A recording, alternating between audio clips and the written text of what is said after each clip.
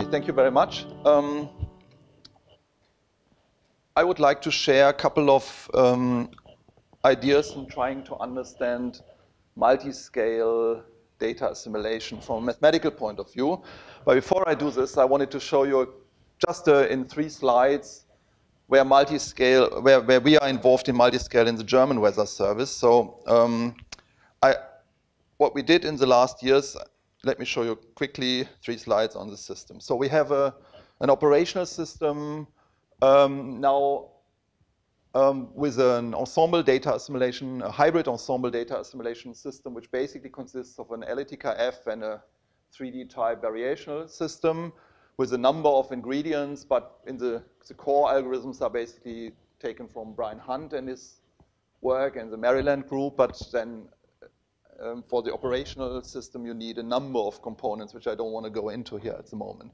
So this is run on a global scale, 13 kilometers resolution, 6.5 over Europe. You see, um,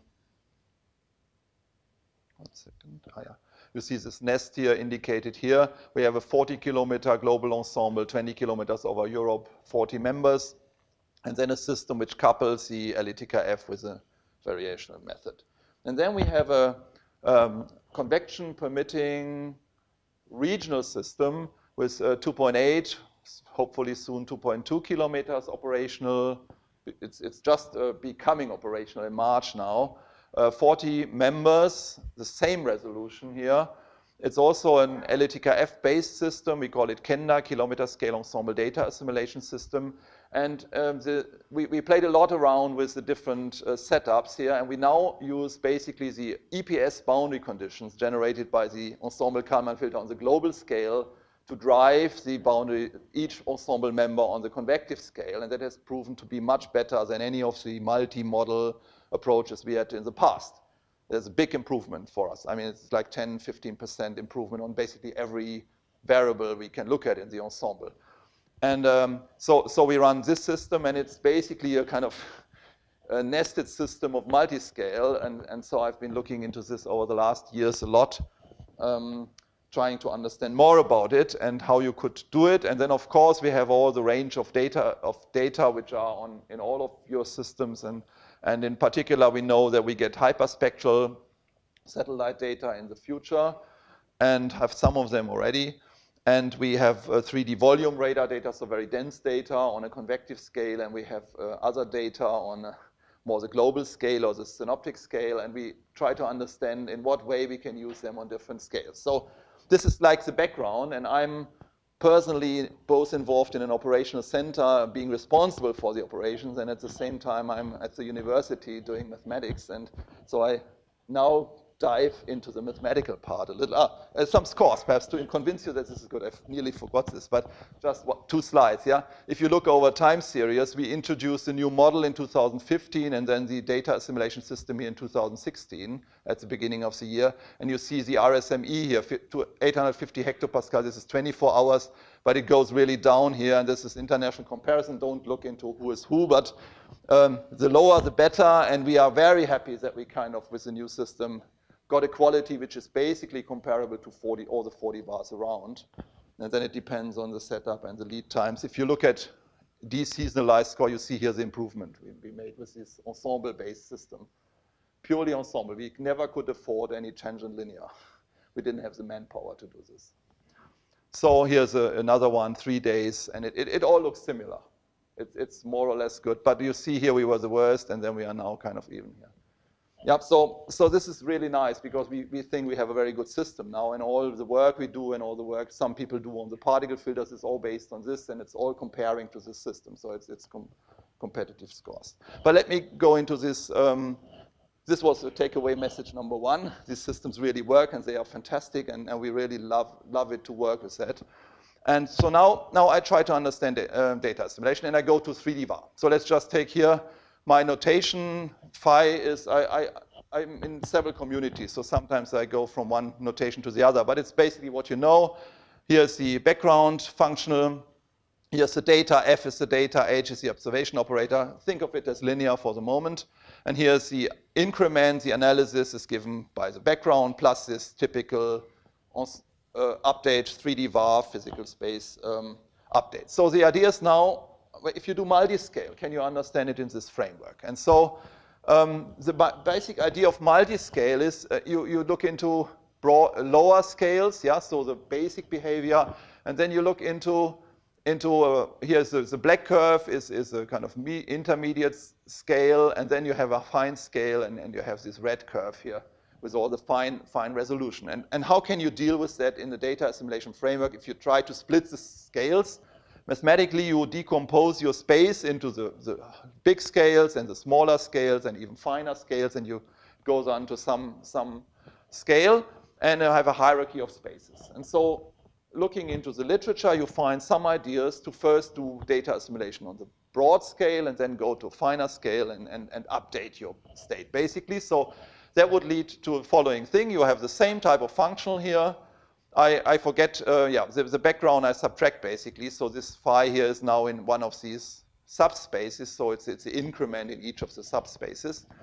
And, um, and you have to, in each step, you have to subtract what happened in the previous subspaces, so you get an data, an updated data vector, basically. And in the end, you add all the subspaces to your analysis step by step. There would be a, an iterative, uh, what I call sequential multiscale. You go to first, a broad, uh, big scale first, then to a finer scale, a finer scale, and you add up the different increments, and, and you basically get this type of um, this type of update if you would do 3D var just naively in, in, in this way. So what, what will happen? So the basic idea of the talk is to understand what happens here. What are the errors? What can happen? So um, first, let's just try to understand it. Um, and I have this typical image just to explain what happens in a 2D case. So U1 here would be one space, and this U tilde, uh, U2, ah, there should be a tilde really. But this is the second space where you do your second analysis. And, um, and basically, if you would do a, unregularized. So forget the background term moment, and I just do the data. And then in the second part, second step, I consider the background term. So if I just do the data term, it corresponds basically to a projection onto this first space. Then you subtract it, so you now have the, this is your first solution. So you subtract the error, here's the error basically, and you take now this difference here, and you do a second projection into the finer space. And there would be this projection. If the finer space is this one here, and it's not orthogonal, then you get this type of projection here. And then this would be the second solution from here to here. And then you add them in the end, and you get this multi-scale, successive multi-scale solution compared to the true solution if you would be in the full space. Yeah, and the error is basically this line here, which you can find here as well for your successive multi-scale. So that's the basic idea for the successive multiscale. And if you now do the error analysis for this, then you don't have to go through all my equations here. Um, basically, I said, okay, it's a projection operator P1 and a projection operator P2, and I have orthogonal projections, and basically the error will boil down to, on the next slide, to this product here in 2D uh, with two spaces, and it's usually non-zero. So if you do successive, first the one scale, then the other scale, it's not the same what you get as if you would do just this full problem in one go. And this is the error. And the error can be calculated. I did this here. And in, in principle, it's, it's going, being taking the general case of this particular image here, which I put here again. So you, you do one step of projection, you do another step of the iterated projection, you get this term. Here is, is what you get if you just write this down. The, the full solution is P1 on this plus this term. And here, the, so the error, you subtract the, the truth from this, and this is a little calculation if you go over it.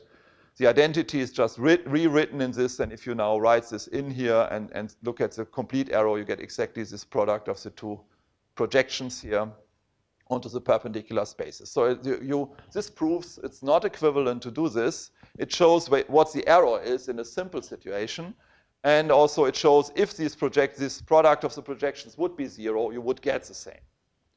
And, um, and it's, it's, it, if this space U would be this space, then you end up here in the black curve. Um, so the idea of, of all of this is now, um, if, if you make an error doing sequential multiscale, perhaps you can go on doing it and reduce your error. And that, that's iterative sequential multiscale. And I, I show you this uh, uh, graphics in the next slide. But it's basically doing sequential multiscale first, go over your M scales, and then restart and do it again. So next level is L, and then it goes L, uh, here one and to, to just redo sequential multiscale iteratively. And what happens here, then you get basically the error estimate. Let me just show you one formula and then the slide uh, to explain it. You basically get your error from the successive multiscale power L. Uh, in the this is our op operators, and if you look into the cosine of the spaces, of the, of the angle between the spaces you use in your multiscale, this is your error estimate for sequential multiscale um, so if, the, if they are all orthogonal, this will be zero, and then the error is zero, it's fine. If they are not orthogonal, this is how it goes to zero. And this is basically just describing what happens here. The error in the multiscale, this would be the first step of the multiscale, this would be the second step of the multiscale. You end up somewhere here, and these two projections describe exactly what I had on the formula. And if you now iterate this, you end up with the error going to zero, basically, step by step. And it, it uh, in mathematics, there's a whole theory on alternating projections, and sequential multiscale basically can be understood as alternating projections onto different subspaces. Yeah? So that's the basic insight of the whole thing is, is the unregularized version is alternating projections, and you're taking this into account, you can set up your systems really, and the whole mathematics works out. So I have ignored one important thing, and that is uh, we have a background term. And I've just left it away with the projection. So you, we know if we have the uh, first guess and data, we somehow get a balance between the two and, and a posterior distribution, and we have a background term to take into account. And if you do this in a very sim simple case, then your iterate will be a background term, and a, here's the, the true term, and, and you get a convex combination of the two. It's well known. And just iterate this, and you basically end up with um, with a formula giving you the full, you can do this explicitly if you write it in this simple way and forget about the operators. And you can do it also with the operators. So uh, the point is, this term looks very similar to doing the one step. This is the iterative one. But now you have the background term comes in here, and the regularization parameter here, the weighting between the two, comes, it goes into this formula. 1 minus alpha would be the one step. This is the iterated with L iterations. And uh, basically the same with operators. If you write down Kalman operator and your observation operators, you get the same formula, but now with, with your k h. And here's the k tilde h is the one you should use if you have a background term, and this one is the one you would use if you would do one step. And the basic takeaway message is here, you can take into account the background term, but then you have to change the weight between the two if you do this iteration. And you have to do it in a way taking the L square root of your original operator in principle, or between the weighting. So what the suggestion is, basically, um, if you have a weighting which is alpha in the one-step case, and now you want to do regularized, so with background term iteration, take a beta weighting and solve this type of equation. So take the Lth root of 1 minus alpha to calculate your beta, and then use that and you will get the same solution in the case of iteration as if you would do one step.